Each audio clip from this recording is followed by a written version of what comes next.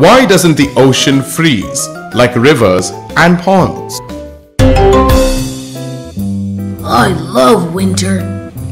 A pond near my grandpa's house is frozen over.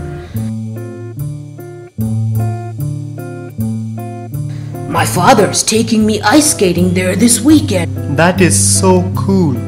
I would just like to go ice skating. Pity there's no pond or river close to where we stay. That is why my father's taking me to my grandfather's house to skate. But we have the sea close by. Why doesn't the sea freeze when lakes and ponds become ice in winter? Let's go ask the professor.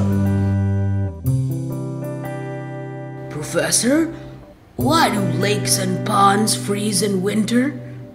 And why doesn't the ocean freeze in winter? That's because the ocean contains salt, and the salt prevents the water from becoming ice.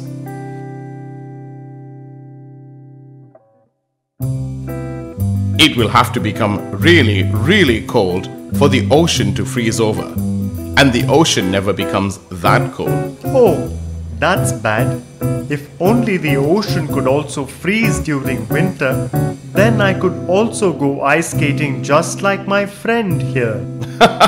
That's very unlikely to happen, but you could go along with your friend to skate. That's a superb idea. I will ask my parents to call yours for permission. That will be brilliant. Golly, what fun we will have!